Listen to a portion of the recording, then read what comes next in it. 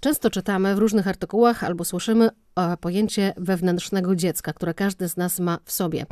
E, czasem to wewnętrzne dziecko bywa utożsamiane z jakąś taką dziecięcą ciekawością, spontanicznością, radością. E, no ale to jest pojęcie zdecydowanie bardziej e, skomplikowane i zdecydowanie szersze. I o wewnętrznym dziecku, które jest w każdym z nas, będziemy dzisiaj rozmawiać.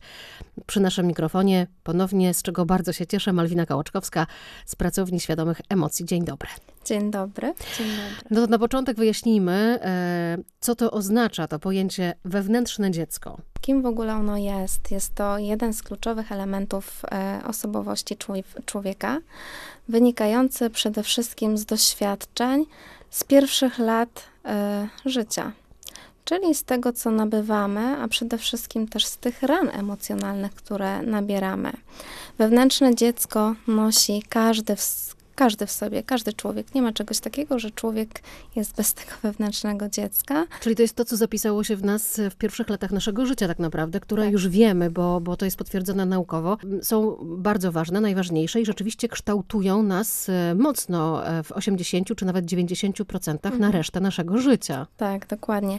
Jest ono przede wszystkim uwarunkowane tymi naszymi przeżyciami, tak? tymi traumami, czyli tym, co po prostu doświadczyliśmy na początku e, naszego życia dotyczy przede wszystkim tych pierwszych relacji, czyli relacji przede wszystkim z rodzicami, rodzicami albo gdzieś tutaj z opiekunami czy z nauczycielami na przykład. I to nie jest tak, że mm, takimi ranami z dzieciństwa mogą być wydarzenia, które mm, obiektywnie można uznać za traumę.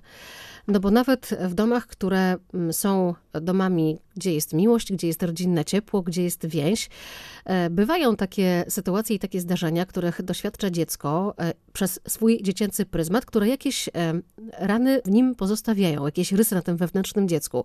Na bazie tego, z tego co przeczytałam, tworzymy schematy, którymi potem operujemy w naszym dorosłym życiu. Co mhm. ciekawe, trudno uciec od tych schematów, bo jak przeczytałam, wewnętrzne dziecko, e, które doświadczyło jakiejś przykrości, zawsze w dorosłym życiu będzie robić tak, żeby tej przykrości już nie doświadczyć. Jest to działanie zupełnie podświadome, co może nas na wiele rzeczy i na wiele doświadczeń, mm, decyzji blokować zwyczajnie w dorosłym życiu. Tak, tak, dokładnie. W związku z tematem chciałam Wam zaproponować książkę, którą jakiś czas temu przeczytałam.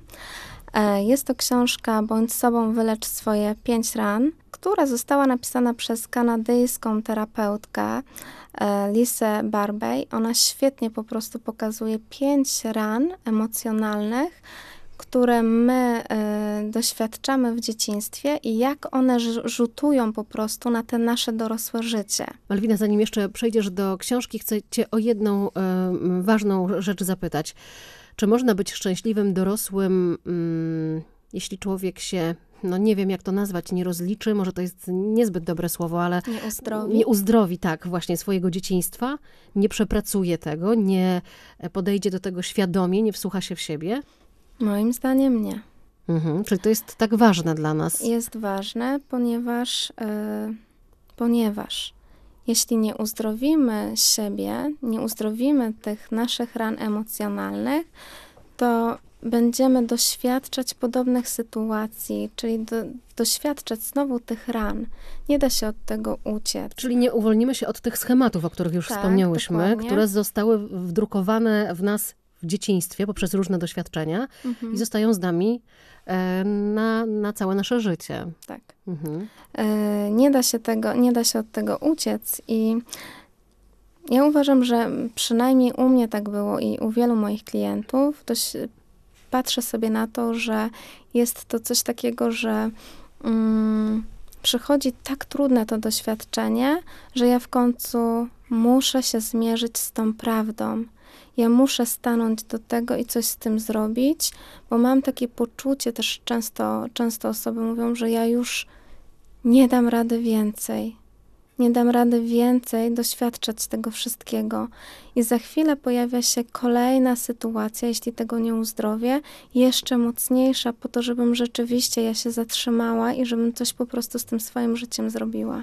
Bo można pewne mm, rzeczy w sobie zagłuszyć, natomiast one i tak zostają. Mhm. E, pojawia się tutaj również w artykułach, które mówią o wewnętrznym dziecku pojęcie samoakceptacji, no bo żeby być szczęśliwym, trzeba siebie akceptować. Mhm. To nie chodzi bynajmniej o jakiś e, narcyzm, e, zupełnie, tylko o to, żeby mm, wiedzieć, co jest naszą mocną stroną, silną, co jest w nas wspaniałe, jakie mamy wady, a nie można tego przecież, jakie mamy słabości, a nie mhm. można tego zrobić bez samopoznania. Samopoznanie oznacza także to, żeby stanąć w tej prawdzie, o której już wspomniałaś mhm. przed sobą, w prawdzie o sobie. Tak. E, I gdzieś tam z czeluści naszej pamięci, głęboko po, po, pochowane, poukrywane różnego rodzaju doświadczenia, powyciągać. Mhm.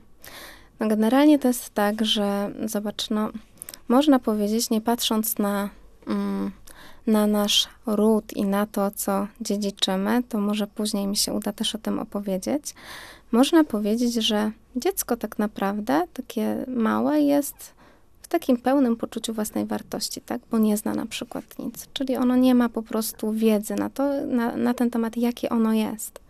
Ale idąc przez swoje życie, nabiera różnych doświadczeń, różnych ran emocjonalnych, bo na przykład słyszy, że jest nie dość dobry, bo jest wiecznie porównywane, bo czuje się gorszy, bo wiecznie musi zasłużyć na miłość na przykład, bądź czuje, jestem nie taki, jestem niewartościowy. Muszę coś udowadniać tak. zawsze.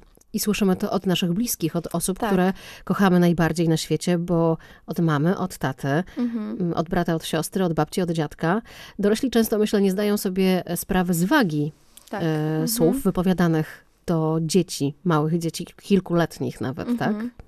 No i rzeczywiście to dziecko później, idąc przez to dorosłe życie, tak naprawdę no, ma taki obraz siebie, czyli że jest niekompletny. Jest po prostu niewartościowy, głupi, często, nie wiem, za gruby, za chudy, jakiś po prostu nie taki. Idąc gdzieś tam dalej przez to swoje życie, niesie swoją prawdę prawdę kogoś. Jest zbudowany z opinii na swój temat, tak naprawdę. Te pierwsze opinie oczywiście wychodzą od rodziców czy opiekunów, później oczywiście gdzieś tam ze szkoły, czasami też od jakichś tam znajomych. I wtedy tak naprawdę to dziecko w dorosłym życiu dopiero zaczyna poznawać siebie w momencie, kiedy uzdrawia te rany emocjonalne. On się odkrywa, jaki faktycznie on jest nie takim, jakim widzą go inni, nie tak. takim, jakim chcieliby go widzieć inni, mhm. tylko jakim naprawdę jest człowiekiem. Ja muszę tutaj przytoczyć e, cytat, który ty zamieściłaś e, kilka dni temu na swoim Facebooku, bo ten cytat jest e, z jednej strony prosty, a z drugiej tak wiele wyjaśnia. Ludzie są tak niezwykli jak zachody słońca. Jeśli pozwolisz im takimi być, kiedy patrzę na zachód, nie łapię się na mówieniu rozjaśnij nieco pomarańcz w prawym rogu. Nie próbuję kontrolować zachodu oglądam go z zachwytem. Bo my cały czas podnosimy sobie tą poprzeczkę do góry, nie? I cały czas po prostu chcemy być idealni. Też często przez to, że gdzieś tam byliśmy odrzucani w swoim życiu, porzucani i my wiecznie chcemy się dopasować żeby znowu nie doświadczyć tej rany, czyli żeby znowu po prostu nie poczuć tego odrzucenia bądź porzucenia. My chcemy po prostu, żeby każdy też nas lubił, tak się nie da. No tak właśnie. się nie da. I ja zawsze mówię o tym, że um, jeśli emanujesz tak, jeśli emanujesz tą miłością, wdzięcznością i naprawdę robisz taką dobrą robotę dla siebie przede wszystkim, to takich ludzi spotykasz na swojej drodze. E, I takie też doświadczenia masz, tak? Czyli E, to życie po prostu ci płynie, tak? Doświadczasz tego życia w takim wewnętrznym spokoju przede wszystkim. Bo też chyba jest tak, że jeśli pozwalam sobie na bycie sobą i nie trzymam się wiecznie w ryzach wymyślonych tak. przez kogoś, Boże, albo przez siebie samego, to, e, to jestem też otwarty i pozwalam innym być takimi, jakimi są. Nie mówię, nie myślę, bo gdyby on był taki, to. Mhm. Tak. Często tak mamy. Mhm. No ale też to bierze się oczywiście z jakichś tam doświadczeń naszych, e, jeśli chodzi o, o dzieciństwo, tak? I gdzieś tam, gdzie jesteśmy oceniani i porównywani. Dlatego tak ludzie dorośli boją się oceny i boją się porównywania, ponieważ tego doświadczyli. Zobacz, jak, jak to robi na psychikę dziecka, które idzie na przykład do tablicy i rozwiąże źle przykład i pani go wyśmiewa przy całej klasie. I to dziecko doświadcza takiej traumy. To ono być może już nigdy nie będzie chciało podnieść ręki, nawet znając tę dobrą odpowiedź. Tak bo będzie się po prostu bało. Dlatego tak e, dużo ludzi ma właśnie poczucie wstydu w sobie, które jest takie naprawdę, uważam, że kluczowe w, w tym, żeby uwolnić się od tego poczucia wstydu, tak, jeśli chodzi o, o, swoje, o swoje życie, ale przede wszystkim to porównywanie i ocenianie, bo my wiecznie jesteśmy oceniani, my wiecznie nie pasujemy, my wiecznie jesteśmy nie tacy, jak ktoś chciałby, żebyśmy byli. No bo kanony i oczekiwania zmieniają się szybko, tak? tak. E, my nie i też nie musimy. Myślę sobie, że ta motywacja do zmiany powinna być tylko i wyłącznie wewnętrzna, żeby to była zdrowa, dobra zmiana, e, a nie sterowana zewnętrznie, no, bo wtedy mhm. to chyba już klapa na całego tak naprawdę. Tak, dokładnie. E, mówisz o tych ranach. Wspomniałaś o książce, którą przeczytałaś i która jest ważna w temacie wewnętrznego dziecka. To może wróćmy do tej książki właśnie. Mhm. Tutaj mamy w tej książce pięć ran. I tak naprawdę y, powiem może pokrótce też, żeby każdy sobie zobaczył, czy taką ranę emocjonalną ma. Ona pokazuje też, jak te rany wpływają na nasze dorosłe życie. I według e, niej, tej psycholog, każdej ranie towarzyszy odpowiednia maska, czyli taka jakby nowa tożsamość, która nas chroni, gdy e, odczuwamy zagrożenie. Mamy pierwszą ranę, ranę niesprawiedliwości i maskę tutaj surowego. Ona mówi o tym, że ta rana niesprawiedliwości może pojawić się pomiędzy czwartym a szóstym rokiem życia. Z rodzicami tej samej płci. I tu w ogóle w każdej ranie jest hmm. zupełnie inaczej. E, I to jest w momencie, kiedy dziecko nie może swobodnie wyrażać siebie. Córka przy matce poczuje mhm. się niesprawiedliwie, syn przy ojcu czuje tak. się potraktowany niesprawiedliwie. I dziecko tak naprawdę odcina się od tych swoich uczuć z powodu cierpienia związanego na przykład z chłodem, z, nie wiem, oschłością na przykład tego rodzica. No i oczywiście ten, ten rodzic według tego dziecka w jego takim odczuciu jest surowy, łatwo go krytykuje. Najważniejszym tutaj czynnikiem emocjonalnym jest przede wszystkim ten chłód. Jakie, jakie tak naprawdę cechy są charakterystyczne dla tej rany? No to uwaga. Perfekcjonista. Nie pokazuje, co czuje. Boi się zawieść innych ma problem na przykład z proszeniem o pomoc. I to są już te cechy człowieka dorosłego, które tak. ukrywają tę ranę z dzieciństwa określoną jako niesprawiedliwość. Tak. Czyli dziecko, które było niesprawiedliwie potraktowane, choć znowu mm, to jest też, też chyba trudne i ciekawe, bo mam wrażenie, że to jest właśnie niesprawiedliwość widziana oczami tego dziecka wtedy, tak? tak? Bo dla dorosłego może to zupełnie nie być niesprawiedliwe traktowanie. No przecież rodzice nie zdają sobie, wiesz, z tego sprawy. Mhm. Ja zawsze mówię, że e, tak naprawdę on też mógł nie mieć o tym pojęcia, tak? Dlatego tak bardzo jest ważne, oczywiście tutaj pewnie będziemy o tym też mówić, ta rozmowa z tym dzieckiem o jego odczuciu, nie moim, tylko co on mhm. odczuł, tak? Bo my o to nie pytamy. Nie mówię, że słuchaj, nie masz powodu, żeby się czuć niesprawiedliwie, tylko tak. zapytaj, tak? Mhm. Dlaczego? Czy, czy czujesz się i dlaczego? I tutaj w tej ranie mamy taką wszechogarniającą potrzebę bycia doskonałym. Wątpi ten, na przykład ta osoba już w, w swoje wybory, e, nie lubi nic dostawać, ma problem ze sprawianiem sobie przyjemności bez poczucia winy. Często też się usprawiedliwia. Ma problemy przede wszystkim taka osoba też z okazywaniem uczuć, y, lubi porządek, kontroluje siebie. Nie lubi być uważany za szczęściarza, musi na wszystko zapracować. Poświęca się dla sprawy, daje sobie sam radę w życiu. I tutaj właśnie to się pojawia, co, co jest częste, że nie potrafi y, poprosić o tą pomoc. Co by się, się, nie działo, poradzę sobie sam. Tak. Mhm. Choćby to było y, ponad moje siły i tak ja zrobię to sam. Największym lękiem właśnie tego surowego jest oziębłość nie akceptuję oziębłości ani u siebie, ani e, u innych. Celowo chciałam pokazać tą książkę, te rany, bo pamiętam, jak zaczęłam ją czytać pierwszy raz, e, to co chwilę się zatrzymywałam i mówiłam, nie, to jest w ogóle niemożliwe, że ktoś to tak zbadał do tego Mhm. stopnia, nie? Że jest taka zależność między konkretnym Tak. em, doświadczeniem z dzieciństwa e, i pewnymi cechami, a wszyscy znamy takie typy ludzi, mam wrażenie, No, tak? oczywiście. No właśnie, i potrafimy wskazać, czy to jest do przepracowania, czy jeśli ktoś już uświadomi to sobie, albo przyjdzie na terapię do psychologa, psychoterapeuty, to czy jest to do przepracowania? Tak, oczywiście. E, I oczywiście wiek nie ma tutaj tak naprawdę e, nic, e, żadnego znaczenia. Czy tam, czy mamy 20 lat, bo, bo mam również w terapii takie osoby po 60 parę plus i to są osoby, które też się na nowo odkrywają. Przede wszystkim chodzi o to, żeby zmierzyć się z tą prawdą, nie? O sobie. A dlaczego na przykład przychodzą do ciebie ludzie, którzy mają właśnie 60 lat czy więcej i chcą poznawać siebie dopiero?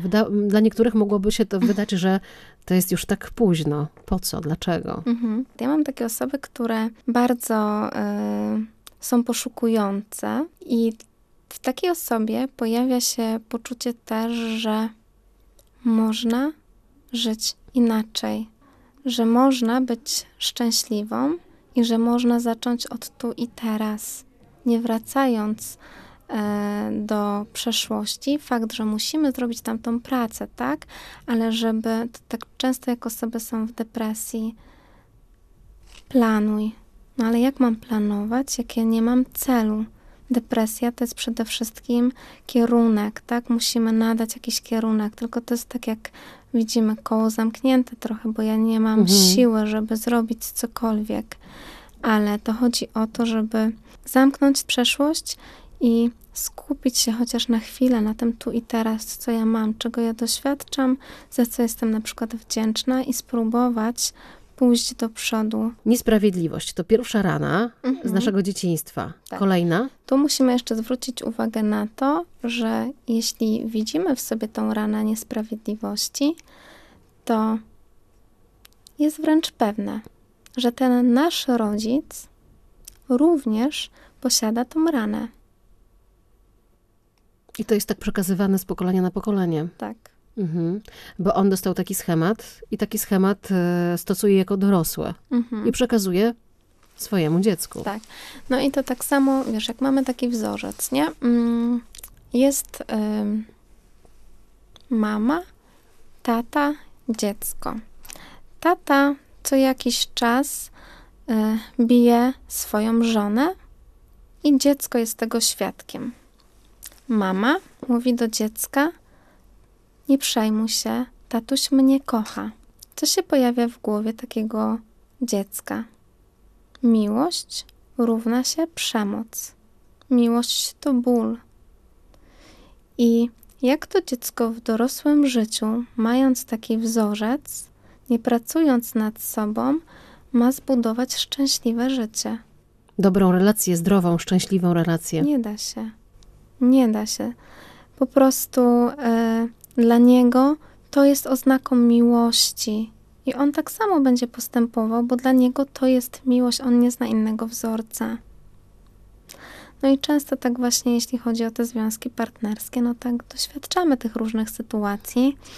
Mm, Też mówimy, że ten partner, tak, jest naszym lustrem. Nagle okazuje się, że ja mam w sobie taką ranę, która po prostu wychodzi, tak? Gdzieś tam mam na przykład ranę, nie wiem, porzucenia i ja mam takie poczucie, że ten partner cały czas mnie zdradza na przykład. I pomimo tego, że nie zdradza, to ja po prostu zrobię wszystko, niestety, żeby zniszczyć ten związek.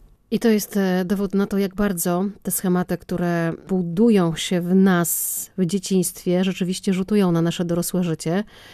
E, Choć myślę, że nikt takiego prostego równania by nie przeprowadził. Dopiero kiedy zaczynamy zgłębiać temat, no to jasne się staje, że w przypadku dużych problemów w dorosłym życiu warto sięgnąć do tego, do tego dzieciństwa i e, hmm, kolokwialnie rzecz mówiąc, może rozdrapać trochę te rany, Mhm. żeby po prostu pozwolić im się też zagoić. Można to zrobić? One mogą się zagoić? My powinniśmy sobie pozwolić na to, żeby przeżyć to, doświadczyć też tego i żeby nie wypierać tych emocji, bo w momencie, kiedy spotyka nas, nas znowu jakaś trudna sytuacja, to brzydko mówiąc, znowu odpala się w nas to wewnętrzne dziecko, czyli to dziecko, które zostało skrzywdzone. I dopóki ja nie uzdrowię tej swojej rany, ja będę doświadczać, ja cały czas będę się tak czuć. Uważam, że nie da zrobić się inaczej trzeba cofnąć się do tego i trzeba uzdrowić tą ranę emocjonalną, powiedzieć też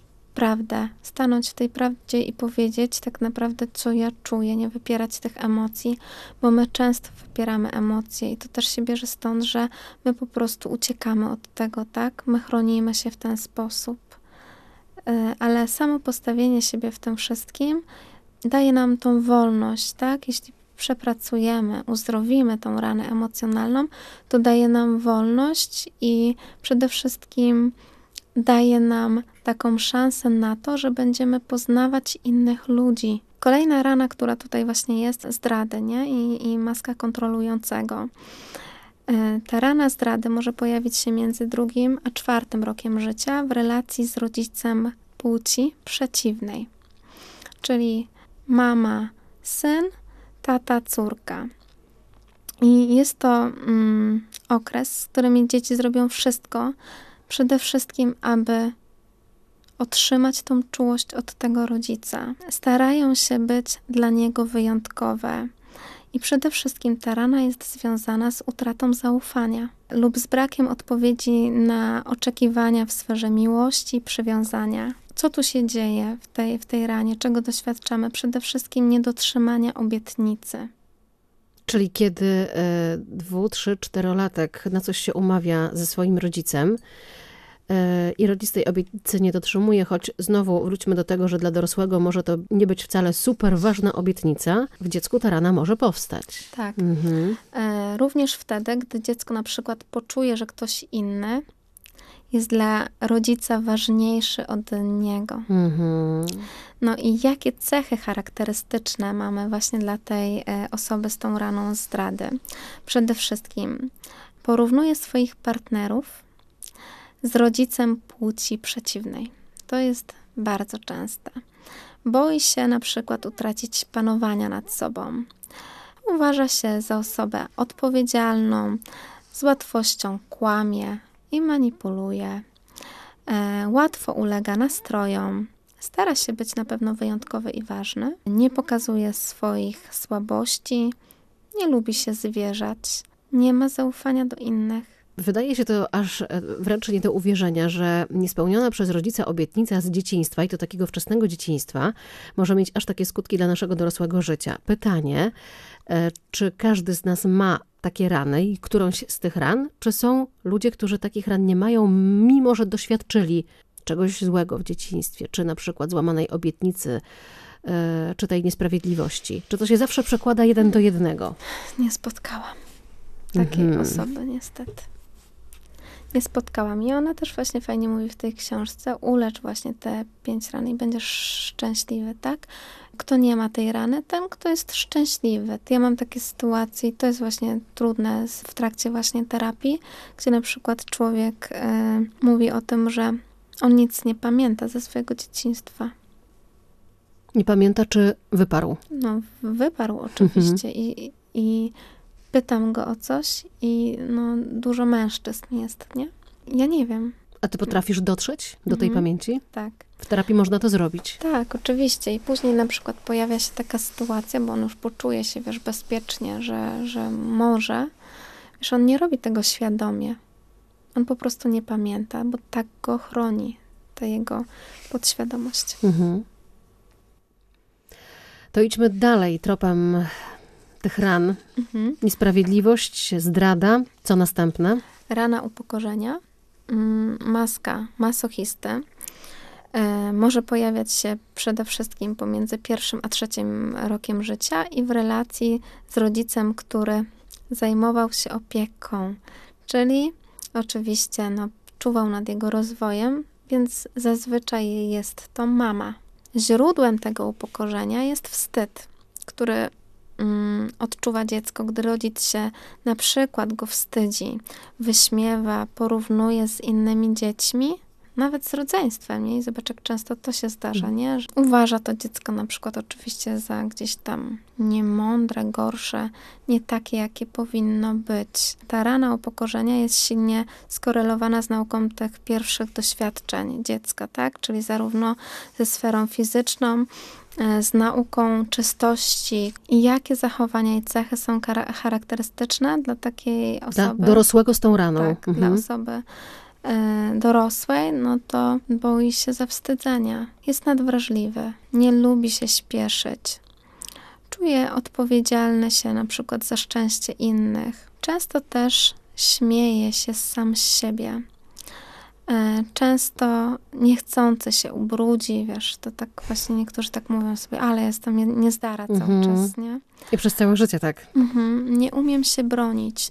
Często czuje się bezsilny, nie ma czasu dla siebie, nie ma czasu na przyjemność. Przede wszystkim też taka osoba czuje się za wszystko odpowiedzialna i to jest trudne. Łatwo go dotknąć emocjonalnie, uspokaja się i nagradza jedzeniem. Straszne i straszne jest to w momencie, kiedy nie znamy tego schematu, bo samo uświadomienie sobie, co ja mam, przynosi też czasami taką ulgę.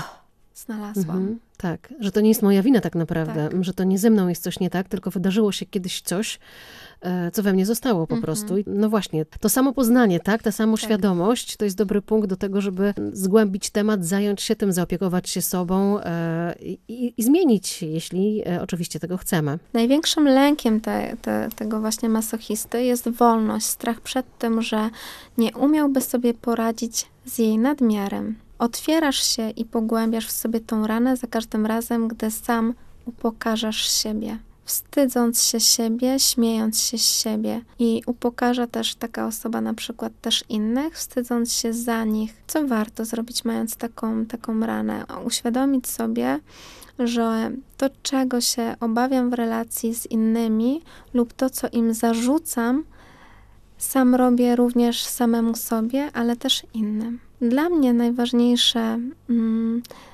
jest to, żeby ta osoba też, można powiedzieć, tak zatrzymała się w tym wszystkim mm, i też skonfrontowała z tym wszystkim, co po prostu nagromadziła przez, przez, ten, przez ten okres. Tak stanęła do tej prawdy, żeby stanęła w tej prawdzie i zobaczyła, że to jest nabyte z tego właśnie tego wczesnego dzieciństwa, że wystarczy tak naprawdę uzdrowić tylko tą ranę i iść można dalej, inaczej. Można to zrzucić i nawet trzeba. Ten zbędny bagaż, który tak. ktoś nam włożył na plecy, na nasze życie. Rana porzucenia. Mm, maska e, jest to właśnie maska zależnego. Często się myli, nie? To porzucenie od, od odrzucenia. Ja w swojej pracy mam najwięcej tych ran, y, jeśli chodzi o moich klientów, czyli albo ranę porzucenia, albo właśnie odrzucenia. Y, odrzucający mówi i myśli nie chcę, porzucający mówi nie mogę. Porzucenie oznacza przede wszystkim oddalenie się od kogoś z powodu innych spraw, lub kogoś innego, czyli na przykład rodzic, który idzie do pracy, a dziecko ma poczucie porzucenia. Natomiast odrzucenie oznacza nieprzyjmowanie czegoś lub kogoś, brak chęci, aby ktoś był ktoś był w naszym życiu. Powiedziałaś o tym, że rodzic idzie do pracy, a dziecko czuje się porzucone. No tak, ale z reguły rodzic idzie do pracy, bo musi iść do pracy. Mhm. I teraz na ile rodzic e, może e, ochronić swoje dziecko przed e, tym, żeby nie czuło się porzucone, skoro do tej pracy musi iść? Wszystko oczywiście jest kwestią tego, w jaki sposób rozmawiamy z tym dzieckiem i czy je pytamy i czy chcemy usłyszeć, czy narzucamy mu swoją prawdę. Dorosły, często który trafia na terapię, ja mówię na przykład, że czy ty powiedziałaś, mm, na przykład ostatnia moja sesja, kiedy kobieta była wychowywana przez swoich dziadków. To jest bardzo często. Rodzice mieszkają gdzie indziej i dziecko mieszka gdzie indziej. Kobieta ma około 40 lat. Nie potrafi tak naprawdę stanąć przed tą mamą i powiedzieć: Mamo, ja czułam się porzucona, odrzucona od ciebie. Ja zapytałam się, jak pani myśli, jakby zareagowała pani mama? No mówi, o matko, ona by tego nie przeżyła. Ale przecież jest to fakt. Tak. Ale trudne jest być w tej roli rodzica i przyjąć tą prawdę. Bo z perspektywy tej mamy pewnie wyglądało to tak, że być może jej praca, jej życie mm. wtedy wyglądało tak, że musiała oddać dziecko pod opiekę dziadków i dla niej jest to jakiś um, pragmatyzm pewnego rodzaju, tak? Mm -hmm. Życiowy wymóg. Mm -hmm. Przecież ja cię nie zostawiłam. Tak. Ale właśnie zostawiła. To nie chodzi o to, żeby oceniać tych rodziców, tylko chodzi o to, żeby potrafili rozmawiać z dziećmi i potrafili spojrzeć na to, czego ono potrzebuje i jak się czuje. No właśnie to, co powiedziałaś przed chwilą, bardzo ważne, żeby dziecka słuchać, pytać i usłyszeć, tak? To usłyszeć jest ważne i nie dyskutować z perspektywą dziecka, bo każdy mhm. z nas czuje to, co czuje i nawet kilkulatek przecież ma niezbywalne prawo do swoich uczuć. Jeśli mówię, że mówi, że czuje się porzucony, co ty tam wymyślasz? Przecież zostawiam cię tylko na kilka dni. Tak. Ale on się tak czuje, po tak. prostu. Z drugiej strony, czyli wchodząc w, w rolę tego rodzica, ta mama może powiedzieć, ja dla ciebie pracowałam, mhm. ja dla ciebie się zacharowałam, a ty tak się odwdzięczasz. Bardzo często chyba. Tak. I jakie zachowania przede wszystkim ma, ma też taka osoba? Ma predyspozycję do stania się ofiarą, wyjątkowo mocno potrzebuje obecności innych. E, ma oczywiście problemy też z, powiedzmy, z, z jakimś podejmowaniem decyzji, z, ma problemy z podejmowaniem samodzielnego takiego działania, umie wywoływać współczucie, często choruje, bo ono po prostu cały czas nie miało tej opieki. Ono przyciąga też te trudne wydarzenia, aby uzyskać w końcu to zainteresowanie. No i taka osoba ma 60 parę lat i ona bardzo lubi chorować, nie? Na przykład. I to nie chodzi o to, żeby kogoś obwiniać w tym wszystkim, czy obwiniać rodziców. Ja zawsze mówię o tym, żeby zwrócić uwagę na to, że ten rodzic miał taki zasób tej miłości, i on po prostu nam dał tyle, ile potrafił. Skoro on nie miał miłości, skoro nie miał tej czułości tego rodzica, to też nie potrafi po prostu e, przekazać to, to swojemu dziecku. To jest chyba też najtrudniejsze w tym, że te rany, tak jak już powiedziałaś, e, one przechodzą z pokolenia na pokolenie. To jest taka no, niechlubna sztafeta pokoleń, tak? Bo rzeczywiście e, teraz na szczęście e, chyba jesteśmy coraz bardziej świadomi i coraz więcej osób korzysta też z pomocy i chce się dowiedzieć więcej o sobie samym, o swoim życiu, ale przecież w pokoleniu naszych rodziców, a już dziadków w ogóle, no nie było tego, tak? Mhm. Więc oni nie byli świadomi i nie jest to ich winą. Po prostu Oczywiście. ponieśli w życie to, co sami dostali jako wyposażenie od swoich rodziców, a ci z kolei od swoich rodziców. Mhm. Tak, dokładnie. I zobacz, tutaj na przykład ten zależny uważa, że sam sobie na przykład nie poradzi.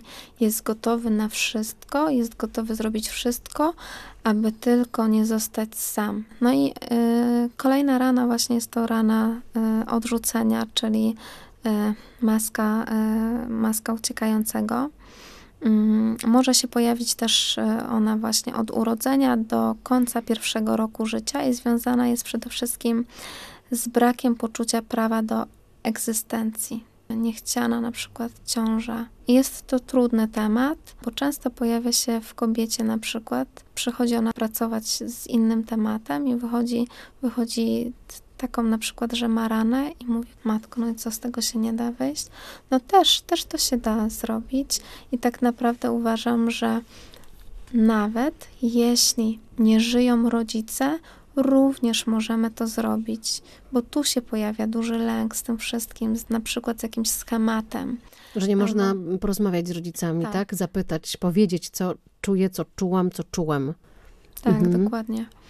Mm, no i tak naprawdę, jeśli chodzi o tą ranę odrzucenia, no to y, oczywiście no, ta dorosła osoba, jakie, jakie może mieć y, tutaj y, cechy charakterystyczne, no to nie wierzy w siebie, na przykład. Nie przywiązuje y, wagi do tego, co materialne. Często też jest perfekcjonistą i próbuje zasłużyć na miłość. Też często mam na sesjach to, że w końcu, wiesz, gdzieś wypływa. Jak, jak ja na przykład pracuję w, w relacji z rodzicami i pada takie stwierdzenie: Ja tak bardzo chciałam zasłużyć na miłość, mamo. Uważa też, że jego słowa są bezwartościowe, czuje się nieważny, zazwyczaj o nic nie prosi, choć wie, czego tak naprawdę chce, boi się osądzenia. Może myśleć też na przykład, że ma problemy z pamięcią, ma cichy i zgaszony głos. Myślę, że każda z tych ran jest na swój sposób trudna. W mojej pracy najczęściej jest ran odrzucenia i porzucenia. I też pamiętajmy o tym, że tak naprawdę chodzi o to, że mm, tak jak powiedziałaś na początku, to nie chodzi o to, że ten rodzic, tak, e, chciał źle. To nie chodzi o to, że on chciał źle. I ja, ja zawsze mówię komuś, że to wiesz, no ludzie się boją tego rozliczenia, ale to nie chodzi o to, żeby kogoś oceniać, tylko zrozumieć to, że ten mój tata moja mama, oni dali mi wszystko to, co mogli, to, co potrafili mi dać najlepszego. Ale z drugiej strony też stanąć w tej prawdzie, zmierzyć się z tym wszystkim i powiedzieć: tak, to mnie bolało. Czyli nie, że uciekam od tego, daję tak rodzicom rozgrzeszenie i nie staję do tego, tylko powiedzieć o tym, że faktycznie to się wydarzyło. I Zaakceptować to, przyjąć tak, do wiadomości. Ja jako dziecko po prostu cierpiałam cierpię na przykład do tej pory, gdzie na przykład mam podobne sytuacje i tak naprawdę e, stanąć w tym i przyjąć te uczucia, nie wypierać, bo w momencie, kiedy je przyjmiemy tak naprawdę, to wtedy możemy uwolnić dopiero to, co czujemy. I być szczęśliwym dorosłym. Tak. Postarać się być szczęśliwym dorosłym, a zawsze warto to robić, tak jak powiedziałaś, czy ma się lat 20, 40 czy 60.